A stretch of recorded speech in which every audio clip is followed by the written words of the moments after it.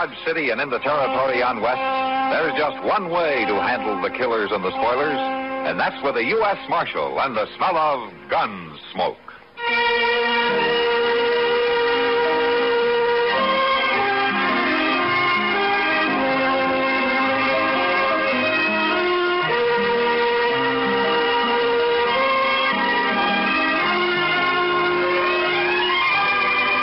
Gunsmoke, starring William Conrad. The story of the violence that moved west with young America. And the story of a man who moved with it. I'm that man. Matt Dillon, United States Marshal. The first man they look for and the last they want to meet. It's a chancy job, and it makes a man watchful. And a little lonely.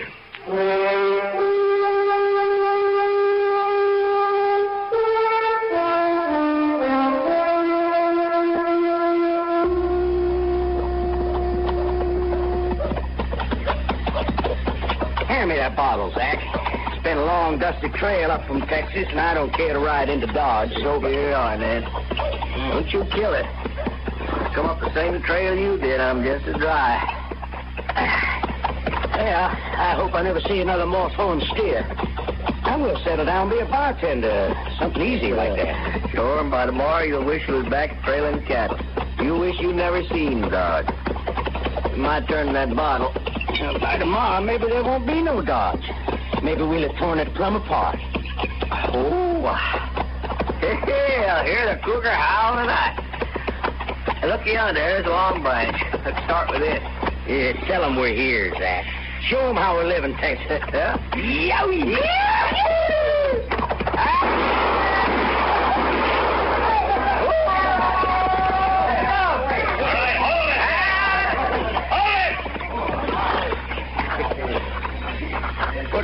A bullet through his hat, Zach. Shoot his heels away. Get down off those horses. Well, I'll get down, mister. It's what I come here for. All the way from Texas. Well, you're welcome here, but don't get any notions about shooting up this town. Who are you, anyway? I'm a U.S. Marshal. I'll take your gun until you're sober enough to carry it. Nobody takes my gun. Then you better ride right back to camp. Don't let him buffalo you, Zach. you won't. Mister, I'm staying. Me and my gun. You'll be marshal for breakfast if you try to stop me. Well, I warned you. I'm going to kill you for doing that to him.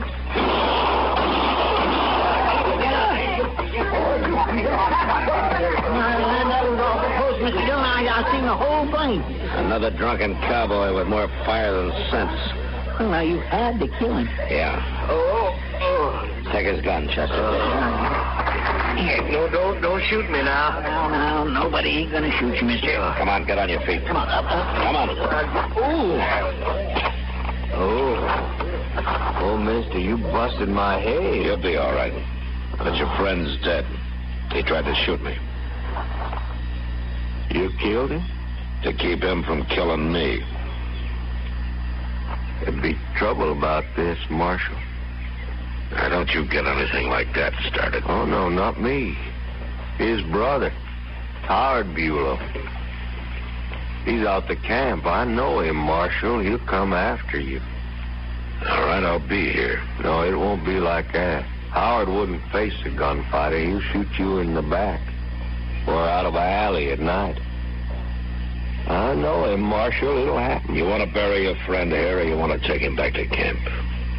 I'll take him back to camp.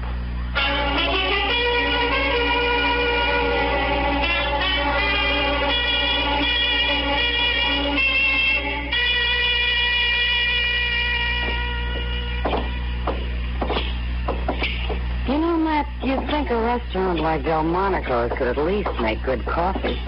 Even if the food's bad. You know, I never saw a woman yet who didn't find fault with everybody's cooking but her own. Hmm. Women have more taste than men, that's all. Oh, yeah, sure, sure.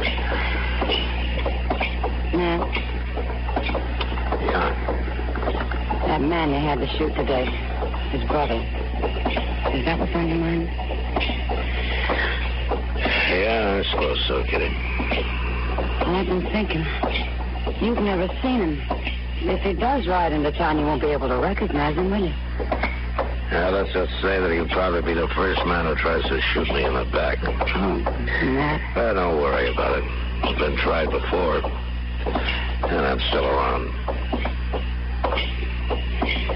Front Street's not very crowded tonight. Oh, it's kind of early yet. Hey, wait a minute, Kenny. What is it? That man leaning against the post up there. Now, wait till he turns his head. I want to get a look at him. Someone you're after, Matt? Yeah. Yeah. No, it's probably somebody who's after me, Kitty. You stay here. Yeah, all right, Matt.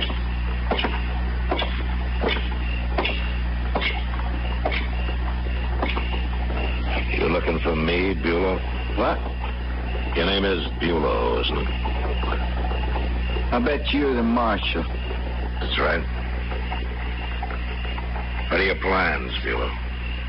Kill you? My own way? I thought so. I'll take your gun now. Take it. All right. That won't stop me. You just got another gun and shoot me in the back. Is that it?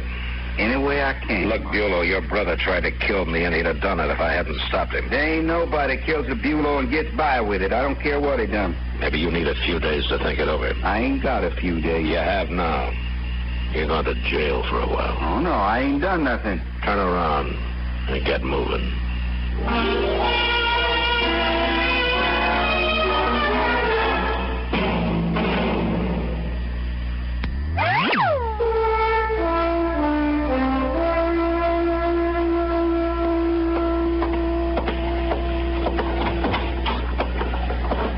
Marshal? Yeah, what can I do for you? My name's Will Jacklin. I'm boss of Dragar herd we're holding upriver. Come for Howard Bulow. Oh. I see. Well, turn him loose. I can't turn him loose. He didn't do a thing last night. He was just standing on the street the way I heard He threatened to shoot me in the back, and he says he's still going to. You killed his brother, didn't you? In self-defense, yeah. Mm, don't matter. You have to look out for yourself. But none of my men's gonna lay in a Kansas jail when he ain't done nothing. None of your men's gonna walk around free waiting to put a bullet in my back either.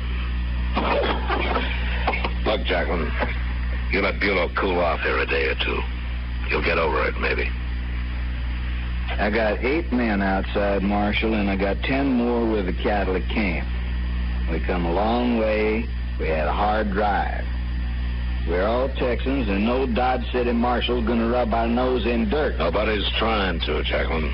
I want Bulow out of here. I'll turn him over to you when you've sold your herd and are headed back to Texas. I want him now.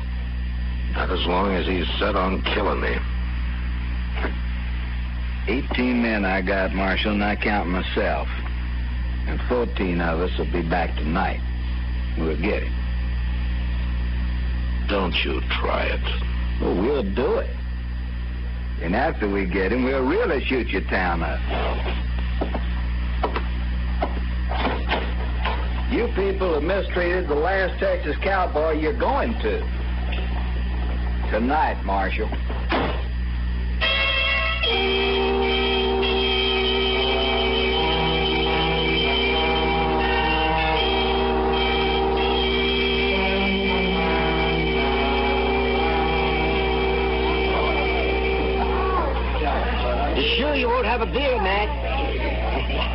I'll even buy you one. yeah. It'll do you good. I can't be drinking now, Doc. Oh, Matt, I don't think they'll ride in like that tonight. Those cowboys always talk big. Yeah, maybe. Yeah, they're just full of vinegar after the long drive they've made. And now they want to hoop and holler something. Uh, Bulow's full of more than vinegar, Doc. Yeah, tooth for tooth and eye for an eye. Oh, my, the got its evil ideas. Marshal Dillon. Oh, hello, Doc. Hello, Riesling. And what are you going to do about those Texans, Marshal? I don't know, Mr. Riesling. I hadn't given it much thought. Well, you better start thinking, Marshal. I heard Jackson right in here this morning. He means what he says, that man. And what did he say? Well, they're going to destroy Dodge, that's what. Him and all those wild Texans he's got. You've got to let that man out of jail, Marshal, right away. Mr. Riesling, the man I got in jail aims to shoot me from ambush if I turn him loose. I can't help that, Marshal. Well, I can. He's staying where he is till he comes to his senses. Well, what about the rest of us? It's all right for you to save your own skin, but what about us? Those cowboys will shoot up the town. Maybe burn my hotel down. Now, don't get all excited, Mr. Riesling. It won't help matters any. Now, why don't you just forget about it? Jacklin may never show up at all. That's what I come to tell you. Oh, what? Frank Paris rode by the drag our camp a little while ago, and he says those men were just about to leave for Dodge. That means they'll be here any minute. Now, what are you going to do?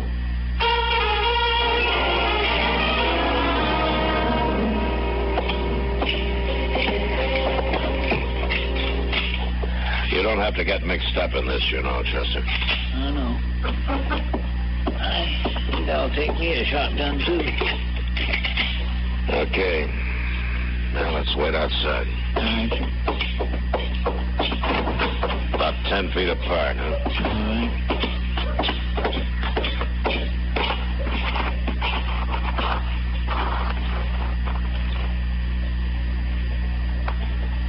Here they come, Mr. Dillon. All of them. Yeah. Here it is, man. Hello, Marshal. You're acting like a fool, Jacklin. We'll see about that. You make trouble here, and the law will be after you wherever you go. I don't worry none about no law. I was raised plumb free. We all were. That's so you were. But that doesn't leave you free to form a mob or raid a jail or shoot up a town. What's the matter with you men, anyway? What's the matter with you? You put an innocent man in jail. Any man who wants to kill somebody isn't very innocent, Jacklin. You have to wait till he does it. I don't have to wait for nothing. Marshal, we've come for Bulow. Let them have him, Marshal. Turn him loose. Hurry. You keep out of this, Riesling. Uh, he's right, Marshal. You let him go peaceable, we'll leave town. You make us fight, we'll go right on fighting. Well, you heard him. He means it. Now, you do it. now. Riesling, shut up. You- you- Jacklin, this is a shotgun I'm holding. The first move you or any one of your men make, I'll cut you in two with it. Maybe. But we're too many. You'll die, and so will your friend there. Is that right, men? Texas men ain't afraid to die, Marshal. But they ain't gonna get trumped on. Now, for the last time, turn him loose. So he can shoot me in the back the first chance he gets. That's your lookout. I'm through talking, Marshal. Get set, men. And when you finish him, go rip this town wide open. Do it for me. All right, wait a minute. Wait a minute. All right. Chester, Yes, sir. go get Bulow. All right, sir. Here you is. You're ahead, Marshal. You and I'd have both been dead if you hadn't. I'm not doing it because of you or me, Jacklin. I'm doing it because of too many other men who would have died. Well, it don't matter long as you turn him loose. All right, bring him over here, Chester.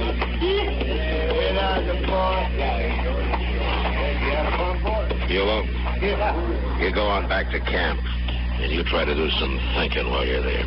Sure, Marshal. You know what I'll be thinking about? You. Sitting next to open windows, walking down a dark street. I'm gonna kill you yet.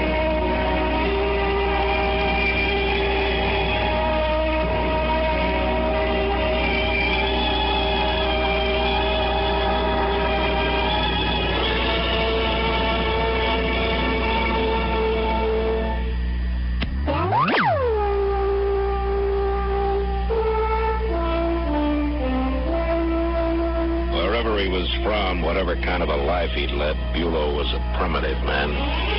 Somewhere he'd heard about revenge, a simple idea, an eye for an eye, and he'd taken it to heart. I realized now that there was no dealing with him. The man was incapable of change, and Jacklin wasn't much better. But I forgot about Jacklin. It was Bulow who would be back. Still, two days went by, and there was no sign of him. A couple of chairs, Mr. Dillon. Let's sit down there. Hmm? All right, Chester. Nobody can't shoot you from here unless it comes up in front. Yeah, it's not very likely with Bulow. Mm. Well, what's the matter with men like him anyway? Oh, I don't know, Chester. Too rough a life, maybe the war, a lot of things. Uh, look yonder, ain't that Miss Kitty come up street? Yeah, Now, what's she walking so fast for? Look. I don't know. Matt, I've been looking for you everywhere. The trouble? Yeah, Bulow's back. Have you seen him? No, but Sam did. Said he stopped in for a drink a little while ago. Well, is he still there? He left, but he told Sam he's got a room at the Dodge House. He might be there. Hmm, well, I'd like to find him before he finds me. Be careful, Matt. You can come along, too, Chester. Four eyes are better than two. Yes, sir. Thanks, Kitty. What'll you do if we find him, Mr. Dillon? Well, there's no good talking to him anymore. Maybe I can scare him out of it somehow. Sure do hope so. Hotel looks pretty empty from here, don't it?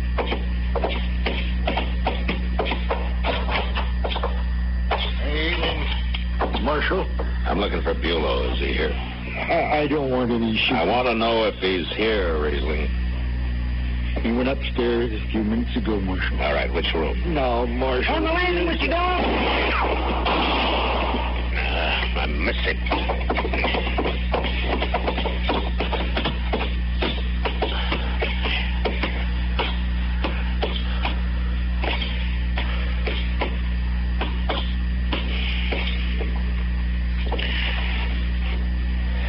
Well, he's in one of those rooms.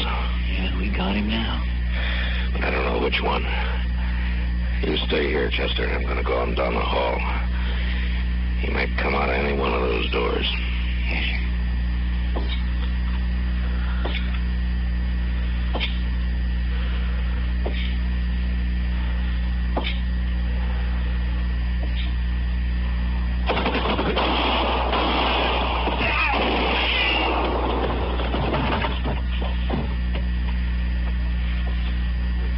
Is it okay? Yeah, it's, it's okay, Chester. He didn't hit you, did he? No, he tried to, but it was too late. He, he was already dying. Well, I sure am glad. Yeah. And he died about as uselessly as a man could, though. For no reason at all. For no reason at all.